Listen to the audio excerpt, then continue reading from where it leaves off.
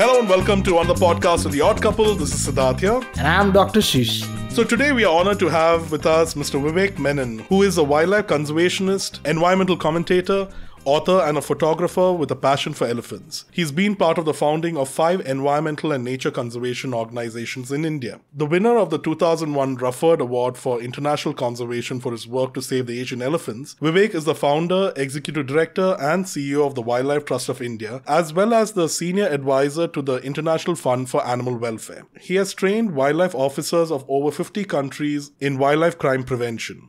He's also an author or editor of over 10 wildlife books, including the recently published Secret Lives of Mammals for Children and the best selling book, Indian Mammals A Field Guide, which I can't recommend enough. So, welcome to the Odd Couple podcast, Vivek. So thrilled to have you here with us. Thanks, Ed, and thanks, Doctor. Good to be with you. So, Mr. Vivek, I mean, you've got. Uh astounding number of uh, achievements behind you. So thank you for coming on our show. We're a very small podcast and we're so happy to have somebody like you on our show.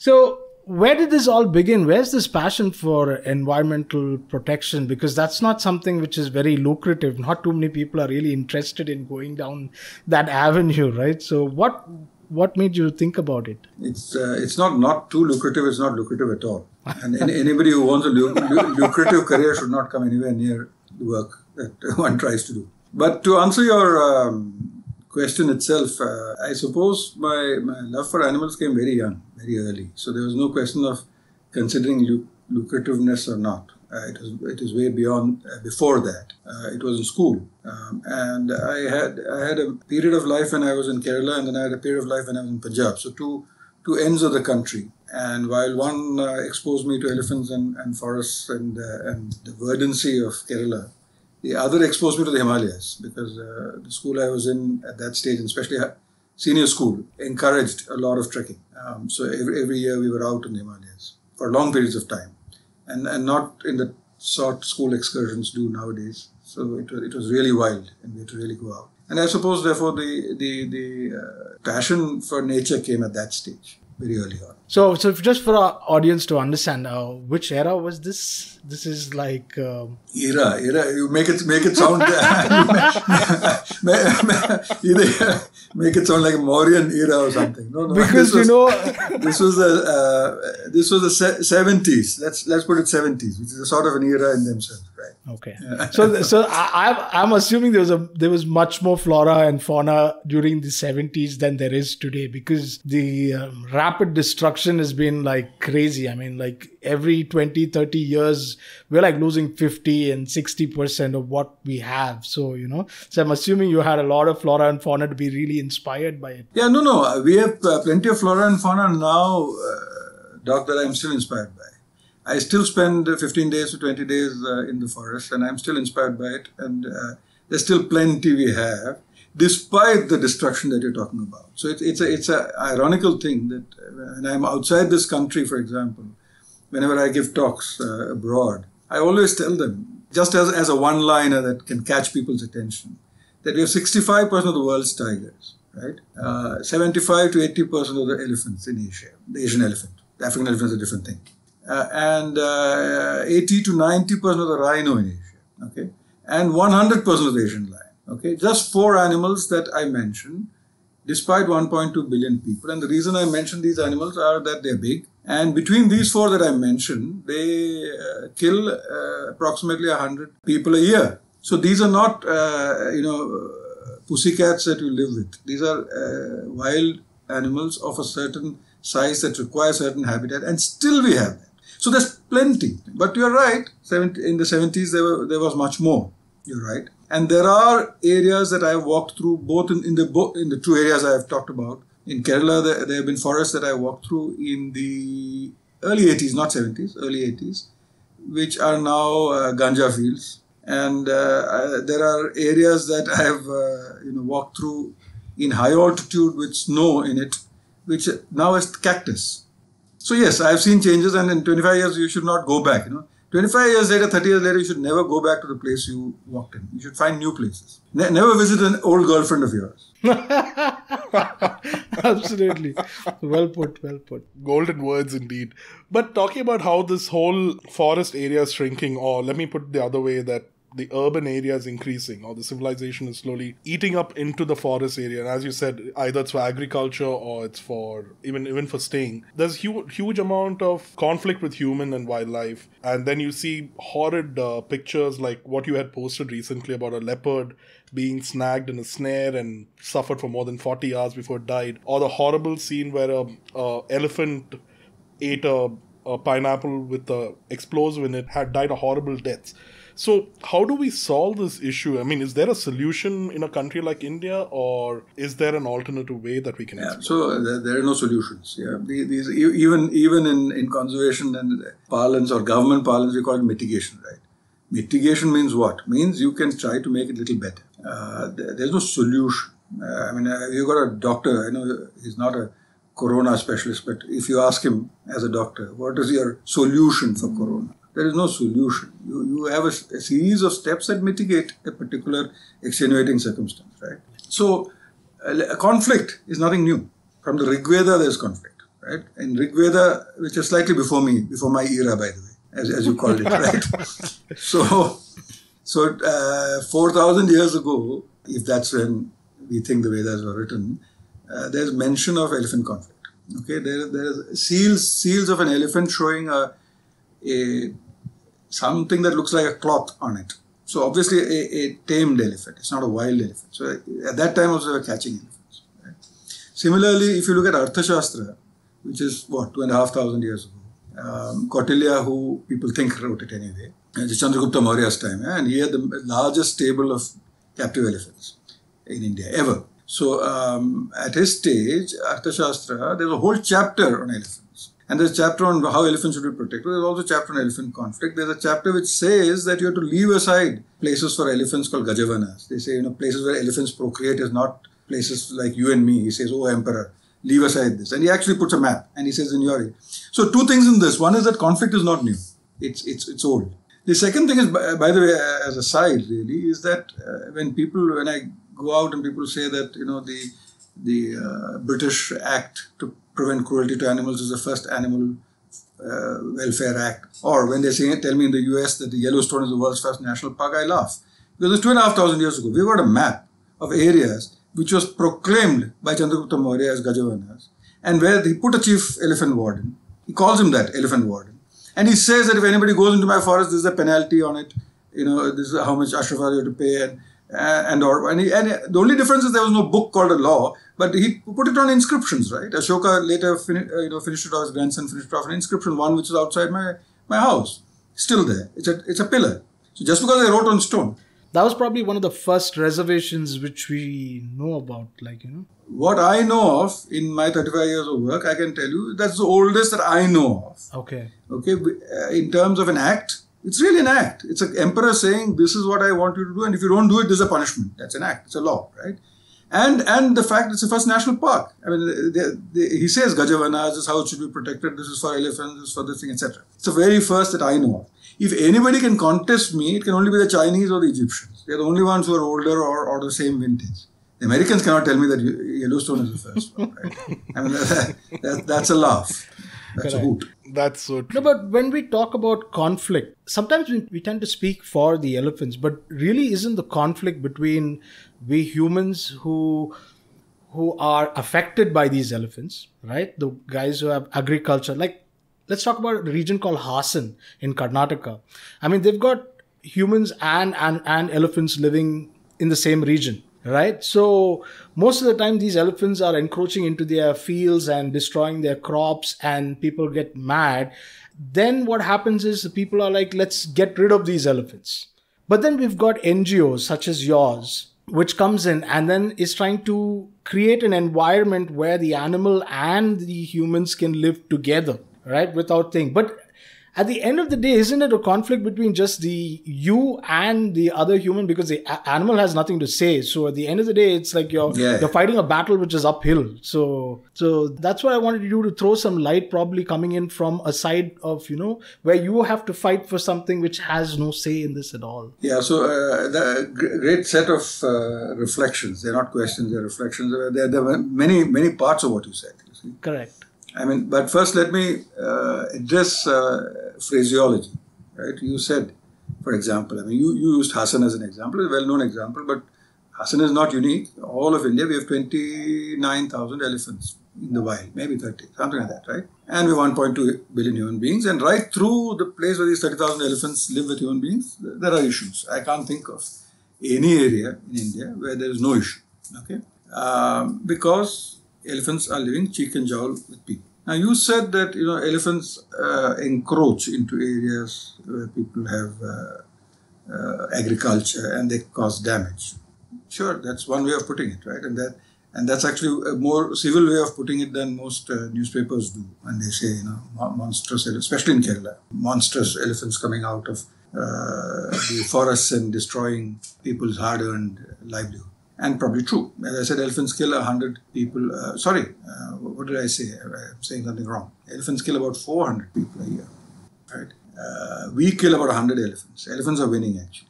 They're a little more intelligent than us. They kill about 400 Indians a year. But we are making much more more rapidly every hour, so you know. Yeah, but but now I'm I'm talking about phraseology. Yes, absolutely. Uh, neither did the media nor did you in a podcast ever say that we encroached into the elephant's habitat right? Elephants did not encroach into our habitat before we encroached into their habitat. When the British built roads, whether in Kerala and Wayanad, where my grandfather was a doctor long ago, and the British used to come on horseback to build those roads, and I used to hear from him how those roads were built, cutting through the steppes of Wayanad, or in the Himalayas. The British engineers used a very simple theory. They chose the most stable gradient to build the roads. What are the most stable gradients? They used elephant footpaths wherever the elephant put its foot will be the most stable part to build a road. And this is good engineering, very bad for the elephant. So the elephant, when I explain to you or to a child or to a president, and I've explained to all three levels uh, all my life, I explain the elephant in four words. An elephant is a big, intelligent, social nomad. And you must understand these four words, and they're linked. Uh, big is linked at least to nomad. Because big in biology, big, a child will also say an elephant is big. Any child across the world will say an elephant is big. An elephant is, by the way, across the world, across cultures, the most instantly recognizable animal. Right? Correct. E is for elephant in any any language.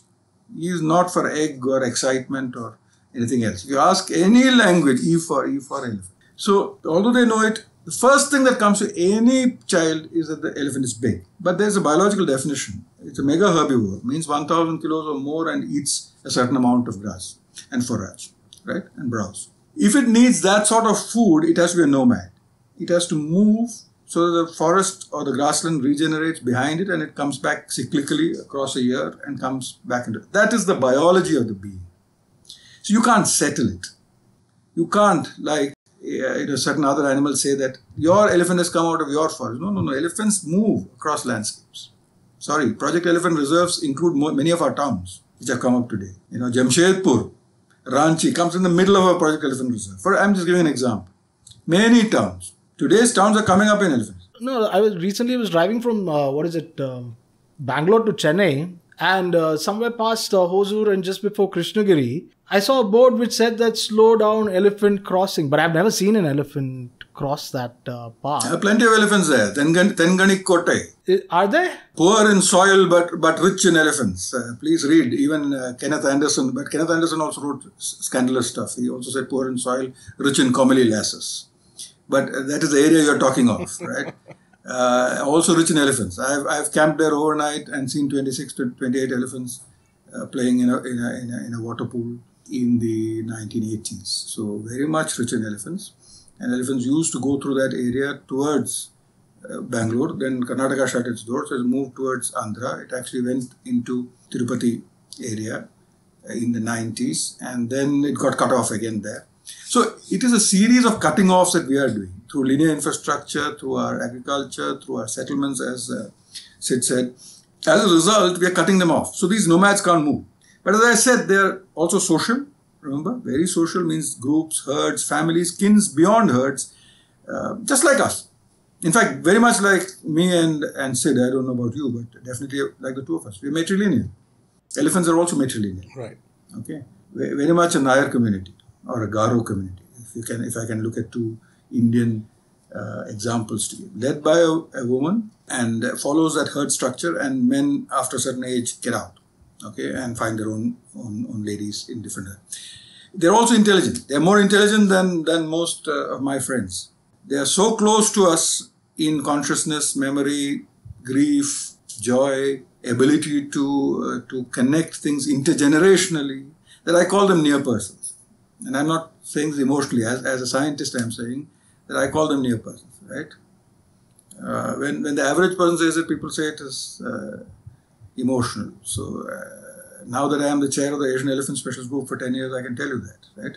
I, I do consider them very close to us. We should really call them persons. If you if you really devolve personhood into a mathematical formula of, as I said, memory and consciousness and all that. There, so many of these things rank up so high, they hit that barrier so much, just like some of the great apes and even some of the whales do that. And they hit these barriers so much that if you didn't believe in a religious uh, definition of hum- humanity and personhood, if you went totally by biology, then you would call them persons.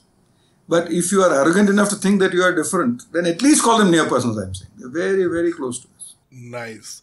So, on that actually amazingly profound now, note, we'll just take a quick break. You're listening to the Odd Couple Podcast. Odd Couple Pod- Podcast. A Pandemia Inc. production. Are you ready? A friendly fireside chat with friends where no topic is beyond a healthy discussion, punctuated with a laugh or two. Check it out! Tune in every fortnight on your favorite podcast network. Welcome back, and with us we have Mr. Vivek, an environmental conservationist, and we were talking about how the elephants and humans have their conflicts and how NGOs help in managing it. So I just wanted to continue continue with the old question, which was like, so when these type of scenarios happen where you know there is a conflict area, how does it get resolved? Because very often people will make it political and then political parties come inside to represent the people because everything is a vote bank in today right? So they come in and then they have to start siding with people. So then ultimately at the end of the day the animal will lose right? In the sense because then they are asked to be moved out. And where do they move these animals to? So uh, absolutely. So perplexing uh, questions so just like you said anybody who's halfway intelligent will know that that eventually human beings win and what you need is is what is uh, what matters. Uh, other life forms don't. Actually, if I look at India, and I'm not looking at Kerala or Assam, which you gave an example of. If I look at all over India, it still is one of the most tolerant countries.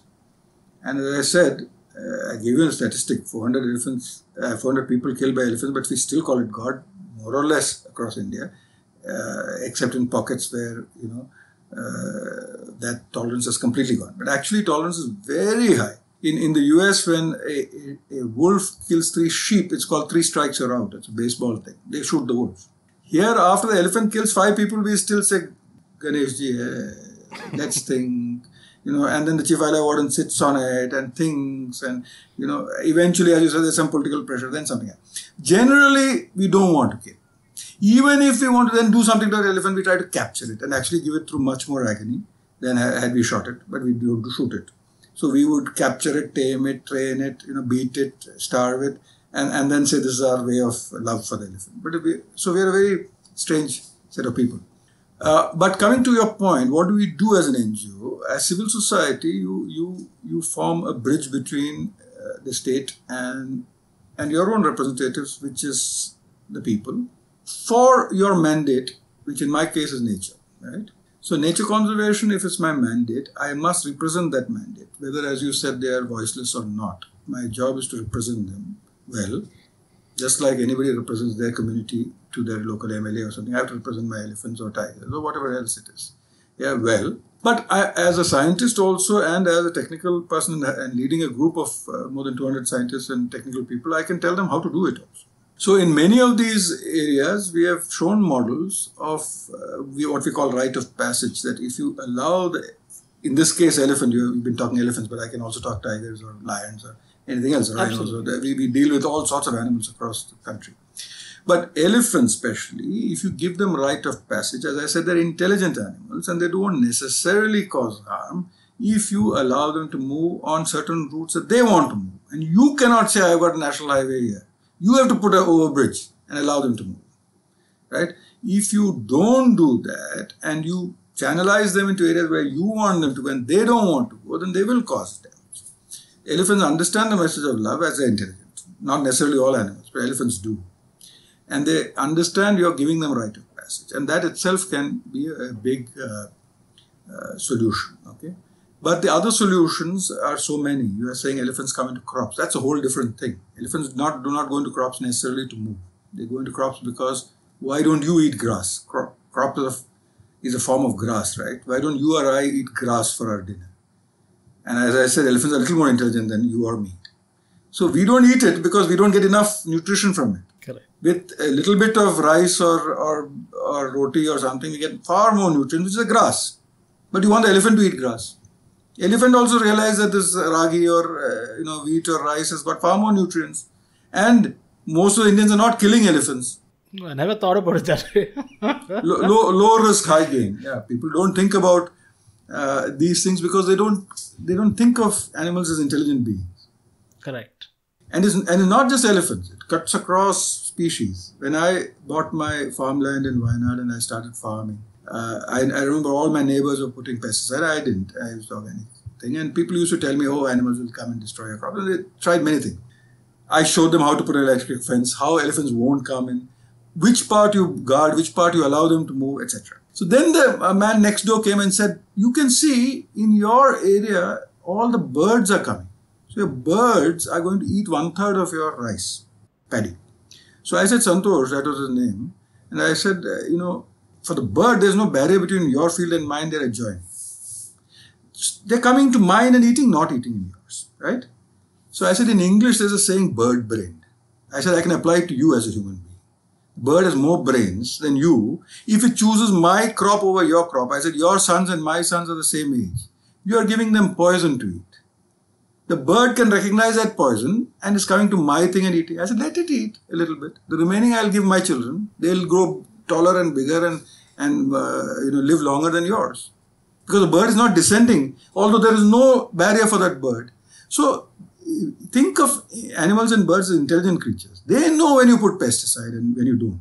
They come, so you can use nature as a mechanism of leading intelligent lives yourself, according to me. You know, they're great indicators, they're great, uh, they tell you things if you have the time and the intelligence to listen. So true, because because I, I get this whole we encroaching on their space and, and leading to this conflict and everything. But what's worse is that we go in and hunt them down for economic gain like like poaching and stuff like that. And it's so sad what's happening to elephants and tigers and rhinos and pretty much anything with any kind of economic value. Uh, it's plundered uh, beyond um, controllable things and i see it's been increasing a lot and i remember a lot of sting operations done to capture this kind of goods and these contrabands which are being exported across the world. So, how do you go about controlling this, especially when it's economic, right? People don't have money to buy food and they're actually forced to, to get into poaching and smuggling. Uh, yeah, my, yeah, I'll, I'll, tell you, and this in a way is supposed to be my specialty of sorts. So I should tell you, and I must correct you on at least two other things you said. So in the early 90s, that's all I did, focusing on the poaching and uh, trade. In fact, I was undercover for many years, tracking the ivory trade and tiger trade, rhino hunt trade.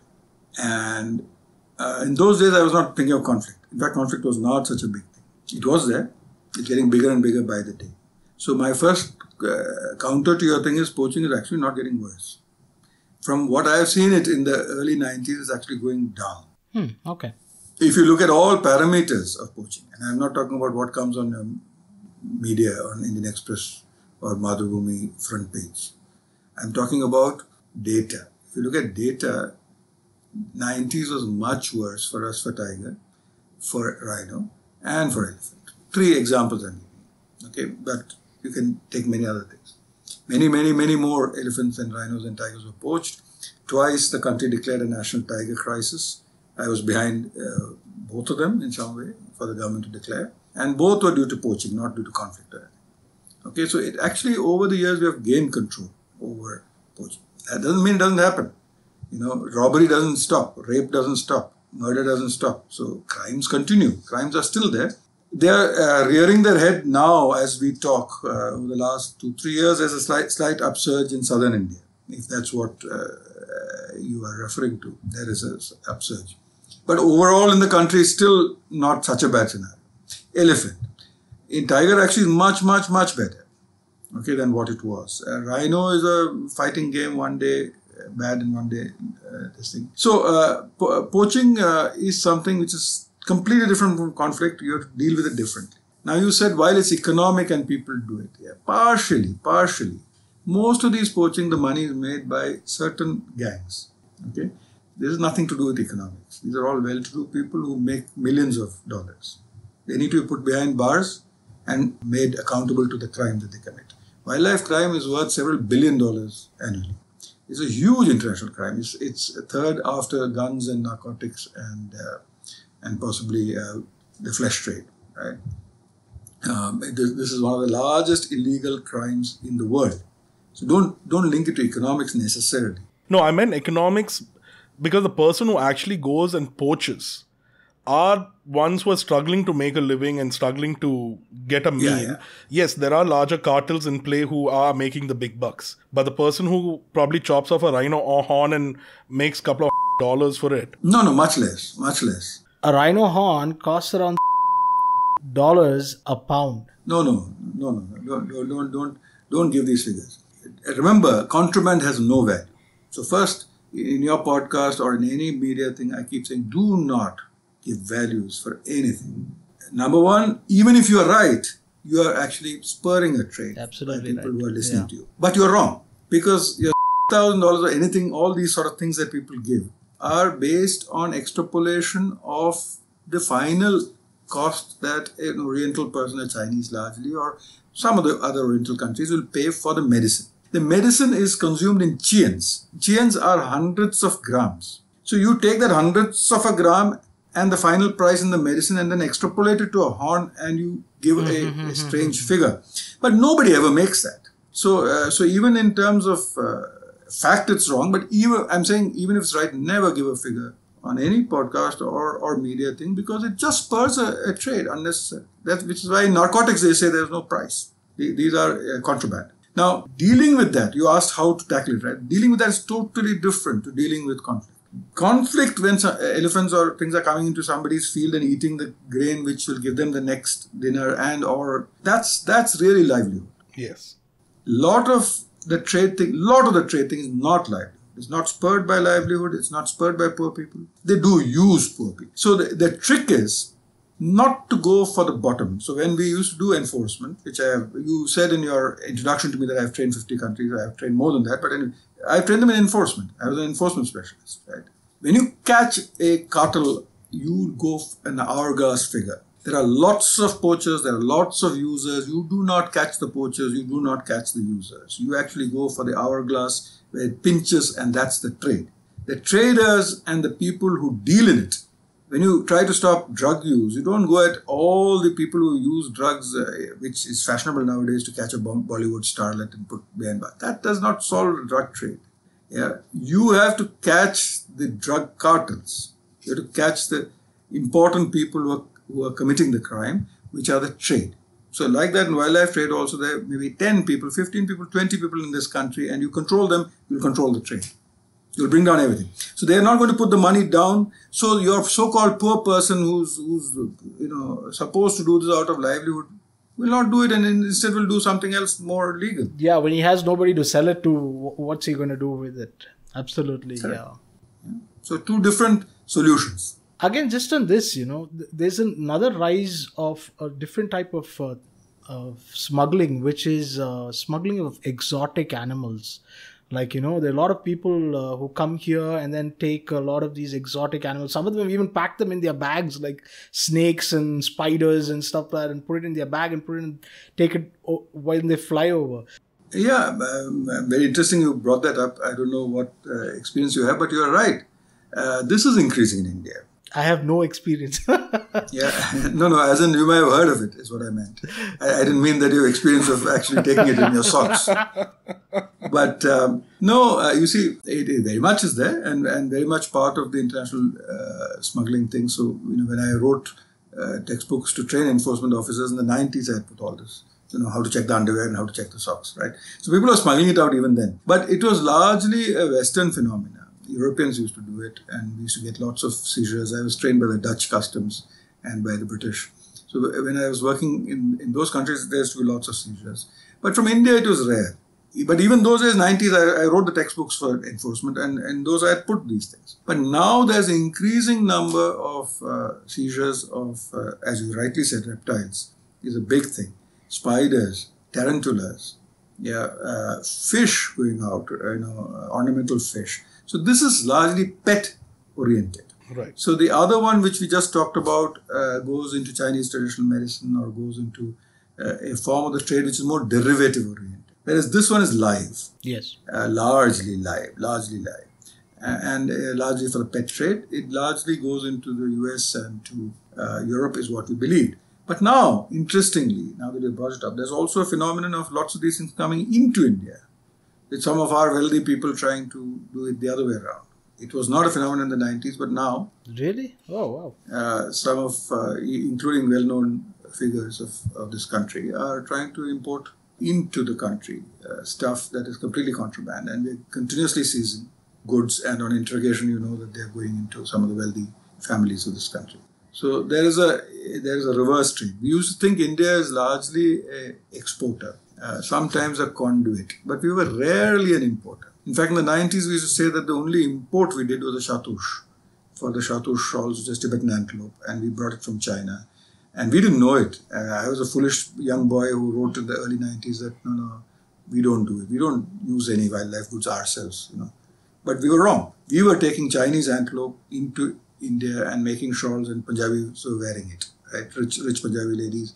The cognoscenti of Delhi and Bombay were wearing it and this was an illegal wildlife product, but we didn't know. Kashmiri sold it saying it's a pashmina, it's a high grade pashmina. We didn't know. That is the only thing where we knew where we imported. They had no use for it, we had the use for it, and we brought it. Everything else we used to blame the Chinese. But when I used to go to China in 90s and talk about saving elephants and rhinos, they kept asking, but, but why are you killing our Tibetan antelope? And I used to say, no, no, we don't kill any Tibetan antelope. And then I, you know, when you do research, you realize, no, no, you have to look at internally. We also have consumption. But now we are consuming live animals as well, pets and i think that's something we need to look at yeah that's it's i mean on that really intriguing note we'll just take a quick break and we'll be right back you're listening to the Odd Couple Podcast. Odd Couple Pod- Podcast. A Pandemia Inc. production. Are you ready? A friendly fireside chat with friends where no topic is beyond a healthy discussion, punctuated with a laugh or two. Check it out! Tune in every fortnight on your favorite podcast network. And welcome back. Uh, we have Mr. Vivek with us. And so, Vivek, were, we were talking just before the break about uh, the whole live animal trade and especially for pets and exotic animals. There's also a huge angle of um, wet market, especially in China, that I've seen extensively, or the bush markets in Africa, which I've read in in the National Geographic um, long back, uh, and and then the whole issue of new diseases cropping up like coronavirus, which is the latest uh, uh, flavor of the year. But I hear there's a lot of research happening in Congo and all those bush markets researching on this transfer of diseases between animals to humans because it's such close uh, proximity that they're living and eating and cohabitating. Uh, what's what's your angle on that? Yeah, uh, interesting question and very topical, I suppose, of the times we have always maintained when we were trying to combat wildlife trade and wildlife crime, not wildlife trade alone, because wildlife trade, a lot of it is legal. Fish, fish, it's wildlife that you catch and you trade in. It's a legal commodity. I'm talking about illegal wildlife trade. We have been saying for a long time that one of the main issues of illegal wildlife trade is disease transmission, right? Uh, and you mentioned two different things. One is you mentioned uh, Congo or, or uh, Congo itself, I don't have experience in, but I've been extensively in Gabon and, and parts like that in West Africa, which where the moment you go, you see bushmar, uh, the, the bushmeat trade. Um, the first mandrill I saw, the first baboon I saw of, of, of Western Africa was all on a, on a butcher table, right? And you know that some of these, especially apes, chimps, gorillas, which they eat. Uh, you know that they're so close to us that if they have any pathogen, they'll come into you. But um, despite uh, lots of trials by many conservationists in West Africa, they've not really made it a dent. It's largely Western and Central African oriented. But I want to stop for a second there and uh, talk about what you said wet market. This has become a fashionable term now. Wet market, I don't know what you mean by wet market. I think I know what you mean. But people use wet market very loosely. Most of the Malayali and the Bengali buys their fish from a wet market. Correct. So, eh, so it's fashionable to refer to the Chinese thing as wet market. Wet market only means where live animals are kept in a wet condition, right? In a live and wet condition. Right. So a lot of Indian markets are wet. A lot of the markets in the world are wet. Where you keep chicken and fish together is also wet market. Okay, but it is neither illegal nor may it necessarily be a major health risk as long as you are you are uh, you know adhering to safety norms that you know that human beings know because we know chicken and fish and sheep and other things right even there you say that if you do open gutting and there's intestines and blood across uh, this thing you have an ability of spreading disease however those diseases are diseases you know the, the two or three issues that come in the wet market that that you and I find abhorrent and which I, by the way, have some experience in. As I said, I was undercover in some of these countries for many years, and one of my jobs was trading in those areas. So one of these days, I'm writing. I'm writing a book. One of these days, I'll write the book on what you call Chinese wet market. Awesome. But anyway, now that wet market, the issue in terms of disease transmission that you say are only two. One is that you're killing animals that you don't know. Right. So the, the disease pathogens that escape are not that of a sheep or a fish or a chicken that human beings over the years have figured out. Because you've been eating sheep and, and, and, and fish for years and whatever they, they give you, they give you a bad tummy, your tummy has figured out how to deal with it. And or health inspectors have figured out how to deal with it or doctors have figured out. These are things that you don't. But more importantly is not that. The more important thing is that the Chinese wet markets or the Far Eastern wet markets, let's not just single out China, because there are horrific things happening in other parts of the Far East as well. The Far East wet markets are largely dependent on wildlife that they're getting from Africa and Southeast Asia and other places. Wow. So you are transporting animals across thousands of kilometers and putting them with other animals from another place thousands of kilometers away who have nothing to do with each other, who have never met each other in the wild and may transmit diseases. Things that grow together know how to live with each other. Correct. An African animal to an African animal from Nigeria may not transmit that disease because they know how to deal with that. The issue is when that disease gets spread across organisms which are several thousands of kilometers then and in close proximity and the disease then spreads and sometimes you're not able to control it. That's probably what happened here as well. Having said that, I was reading the latest WHO report, which has come on, on the thing, and they're not pinning it down on the wet market at all. Hmm. There is absolutely nothing. This is the final report of the WHO on the origin of coronavirus, and I've read it uh, intimately because I am part of a group that is supposed to look at some of these things. There's nothing in it which actually pins it to a wild animal, so it may not even be. And even if it is, if you say an intermediate horseshoe bat was the first this thing, there's nothing to say that intermediate horseshoe bat was killed and eaten in China in a wet market. Right. Probably wasn't. So some of these things are, are, are folk story, but some of these things are real. And, and we need to figure out, you know, what. So is, is wildlife trade bad? Yes, because of its harm to wildlife, one. Second, is wildlife trade bad for human health? Yes, because you're, you're moving animals which you don't know and are not used to. So we say don't eat wild meat. Eat domestic meat. It's equally, animal welfare wise, equally bad, right? Whatever meat you Absolutely. eat. But why are we saying it's okay to eat chicken and meat? Because that's something humans have domesticated over, over centuries. We know how to do it. Right. Yeah. We can handle it. We can handle it in terms of pathogens, in terms of uh, disease risk, uh, whereas wildlife we really don't know. All wildlife, forget disease, all conservation, I joke always. We are trying to conserve these animals. You keep asking NGOs, yeah, we are trying to conserve these animals with an encyclopedia of ignorance to guide us we are a standing example of that ignorance. yeah, no, we don't even. no, I'm saying we don't even know what these things are. We don't know how many creatures there are that we're trying to save. We don't know half the things that are slipping through our hands. We don't know what they are, what will save them, what will not. Elephant, we may know. Tiger, we may know. Do you know I'm the chair of the Asian Elephant Specialist Group? But there are 258 other specialist groups that I'm part of this Species Survival Commission. Some of them are dealing with species I don't even know what they are. There are whole kingdoms called uh, rusts and smuts. Have you even heard of them? They're just like animals and plants. There's a whole different thing called rusts and smuts. Wow. There are tens of thousands of organisms there. I don't, I don't even know that they're there. They're not, they're not a, a, a individual or an organism. They're not a family. They are a kingdom, just like you're saying animals. There's animals, there's plants, there's fungi, then there's rust and smut. Have you heard of that? I'm sure there are going to be a lot of people are going to be googling that, trying to figure out and wrap their head around what you just said.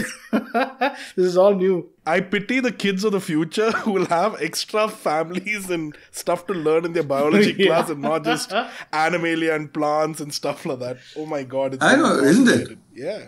The- things are getting complicated. But as you said, we're guided by um, uh, the encyclopedia of ignorance, but it's only through dialogue and research and working in the field that you increase your perimeter of ignorance, as Neil deGrasse Tyson once said. Uh, and that's the only way to do it is by going in uh, and getting your hands dirty uh, in a good way, Yeah, right? sure. So that brings me out to the positive actions that I mean, we've spoken a lot of negative angles to the whole thing, which is obviously top of mind in any news media outlet. But the lot of the positive actions and policies that has been implemented, we've reversed, like you said, Yeah. endangered uh, critical numbers that tigers and elephants reached, and there were emergencies declared. And it's work of good NGOs like you and others who have actually bought it back from that brink, from an endangered to a probably more safer numbers. So, Yeah. I mean, how rewarding is that work, and and and what is that high? I'm, I'm sure it is not like it happens over overnight. It takes decades. Yeah, yeah. I mean, first let me let me spread that compliment of yours from NGOs to to other sections. I mean, Right. one is government. We, we we love criticizing the government, but it is because of fairly solid laws and policies of the Indian government of the past that we have what we have. Right. I mean, uh, apolitically, I am saying that the, the actions taken by Indira Gandhi in the 70s set up Project Tiger, which actually saved the tiger. The Wildlife Protection Act was in 1972, nothing new. And it is such a strong act that it lays the foundation for all of our saving things or doing things. So a lot of government stuff, including national parks and sanctuaries, is set up in the 60s and 70s, not done now. It really is the foundation of uh, uh, saving our wildlife. So you must give the government its credit. The other government you should give credit to is the forest staff who protect it, especially the frontline forest. Nobody talks about that guard and that watcher, who actually are the people who protect your wildlife, right? Uh, and so uh, it's not just NGOs. If those guards are not there, wildlife will disappear in India today. Even if the Indian Forest Service is not there, it may not disappear. But the, if the guards are not there, it will disappear. But the Indian Forest Service also done a, a yeoman's job actually. Very, very good people across the years have done lots of good also. They, you know, people like to pick at the bad, but they're excellent officers who have done a lot of good, which is why there's a lot of good. The other third compliment I want to give is to the people of India. I mean, by and large, we are not people who go out and kill and you know uh, want everything killed. There are segments, as I said, who want things killed, but actually, by and large, we are not. If we were parts of Africa or Southeast Asia, you would find very little left. The fact that we have this is that we have people call it Gandhian philosophy. I don't think it's much before Gandhi also, but the general feeling in South South Asia that all life has you, know, you respect it generally. As long as it doesn't include into your life, you say let it be. You know, you don't want to go out and kill for the sake of killing and eating everything, which is a very Southeast Asian thing, a very African thing. Tolerance levels are very low. Whereas in India, it is very, very high. I'm, I'm not saying India only, Nepal, Bhutan, Sri Lanka, you know, the South Asian continent, Bangladesh. So, uh, so that is there. Now, uh, one one other thing you said is what what is is my uh, prognosis, and uh, there's something I keep saying. So you said I should tell you a story, so I, I must tell you the story. Please. You see, I'm a karma yogi. Yeah? I'm I, uh, 35 years, and people ask me, "Are you positive, pessimistic, optimistic?" You know, I say depends on which day of the week you ask me. Monday I'm positive because start of the week. Tuesday I'm not. Wednesday I, like that. You know, Sunday I rest like God. so why why this is when I started as a 19 year old. I was very young. I left my home at 19, and I traveled from Punjab to Bombay, and I went to meet an old man called Salim Ali, who was then the Wow. Birdman of India. And I left, uh, you know, options of following my father's footsteps as an engineer and, you know, taking over his factories, uh, and or my mother's footsteps as a doctor of, of eminence. And I decided I'll not do any of. Took a train and went to Bombay, and I met the old man who was the, who was a, epitome of conservation in India, and he taught me something. And uh, uh, I mean, it's a story, so it'll take five more minutes, but No it's worth telling. Yes. Because I uh, because I still I still give that as an answer when people ask me whether you have hope, whether things are going better or not. So when I went in there and I stood at the door as a young boy, and uh, Salim Ali Sahib said, you know, you can. Uh, I opened the door. I said, "Can I come in?" He said, "So, so boy, you want to do conservation?" He said he had a bird-like voice. Hmm. So he said, "You want to do conservation?" So I said, "Yes, sir." He said, "You play chess? You play chess?" So I was quite nonplussed. I did play chess with my father, rather badly, but I did play chess. So I said, Yes, sir, I play chess. So he said, Do you know, boy, conservation is a game of chess? So I didn't know it at all. But at 19, you don't say you know, you know, you know everything. So he said, Yes, sir. so he said, uh, You know, this is a game that you can lose any moment in your life. You want to play this game? Wow. So again, foolishly at 19, I said, Yes, sir, I want. He said, Boy, you know this is a game you may never win in your life. You still want to play? So I said, Yes, sir. So he said, Come in, come in, come in. Because I was still standing at the door. So he said, Come in, come in. You, you can sit, you can sit. So I dragged a chair and sat opposite him. He said, Okay, okay, now we'll start the game. He said, We'll start the game. But you listen, boy, he said. You won't get up and leave till the game is over. Right? I told this to two ministers who were giving up their posts. I'm not naming them, okay? Because I've been advisor to a number of ministers of environment in India, and I told two of them who were saying, Why are you doing this? You won't win. So I told the minister, You are a minister, you'll go tomorrow. I told them the story. I said, My game is not over. My job is, whichever party you are, if you're Minister of Environment, my job is to come through the door and give you an offer of help. And if you take it, then my job is to advise you, right? To ensure we do something about what we have. It's an apolitical game. But my job is to do that. And so I look at the optimistic part. There's a lot of good said, a lot of good talk. I don't think we have lost it all. For example, I think there's a lot of children today who are much more aware than I was True. Or my generation was, right? So that itself is good. Uh, You, uh, in, in my generation, I don't think you would have called me for a podcast. I mean, when I started. Right. Now you are calling me for a podcast. Pe- people know about this. Actually, awareness is much, much more. Involvement is less because we are so wrapped up in our daily shit that we know it all, but we don't want to do anything about it. So I keep telling my team also, time is finished, 30 years, we have done awareness programs. I I don't want to do another awareness program in my life. I want to do participation and involvement programs. Take those aware and get them involved. A small percentage, and we can still save the world. So it's such a brilliant segue because that was the exact question which I had in my mind to ask you next is how do we no- normal citizens participate and be part of this movement which is happening, right? Of wildlife conservation. How do Tom, Dick and Harry like Dr. Sheesh and I, apart from Yeah. yes, we will donate to WTI or, or favorite organization, NGOs who are doing some great work. Please do that. Go. I, mean, I have to interrupt you when you say donate. Always go on and click that button and uh, wti.org.in and, and donate. Why not? Absolutely. So apart from that, uh, how else could people probably contribute? Yeah, yeah. And it's it's it's a more difficult question because it is not as simple as saying I'll switch off the electricity when it's not needed or switch the water tap off or use less plastics. All these are things that people now these are the environmental slogans. Damn good, very good. All of that should be done to save the earth. They won't save your tiger or elephant. Right. None of these actions, right? Uh, so those are very specific things. So therefore, they are a little more difficult for an average citizen to always do. Okay. Having said that, I keep saying there are two sorts of actions you can do, other than the third action which you already said, which is donate to somebody who's doing good work. I, I will say donate to Wildlife Trust of India because I set it up, but that doesn't mean only to Wildlife Trust of India. It can be others also. Uh, look, look at those who are doing good work on the ground. It's very important Yes. and support them. So that's one way, definitely. Uh, don't only support human uh, related thing. We all support, no? We, I I do too. Education, health, but also support some nature based thing. That's a very important thing, which in Indian philanthropy, which we have not re- really got into. It's happening now. Now I can see individual donations are going up. So I think we should.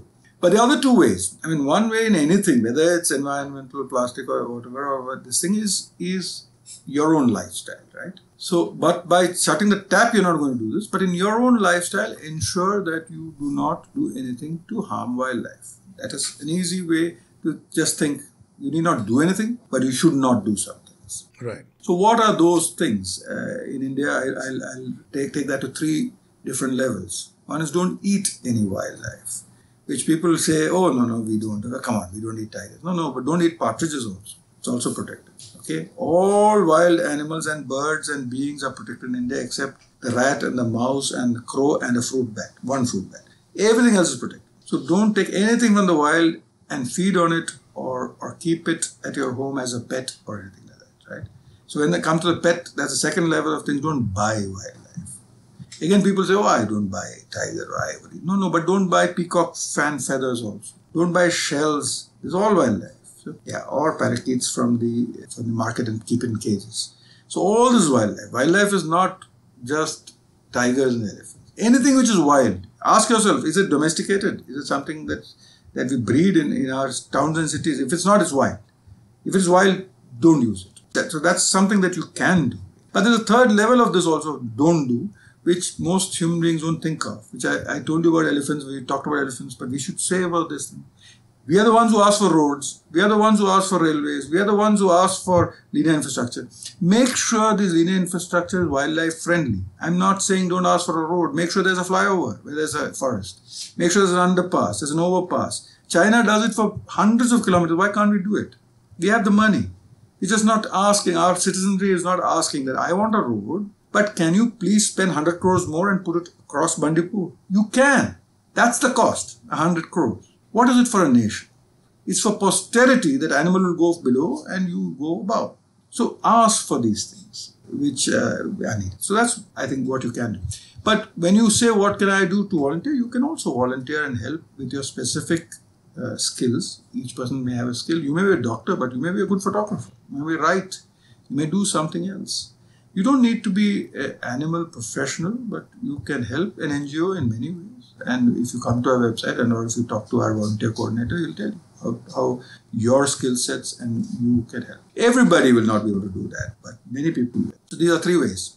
Lovely. I guess that's like the best piece of advice that anybody can get in how to contribute to wildlife conservation. So you've been listening to the Odd Couple podcast. This is Siddharth and Dr. Sheesh over here with Mr. Vivek Menon, who gave us some invaluable insights into wildlife conservation, probably certain terminologies which should be used the right way, and more importantly, on how you and I can contribute either financially by making a donation, which I'll mention in the link below in our show notes, or you can visit wti.org.in to explore more options how you can contribute.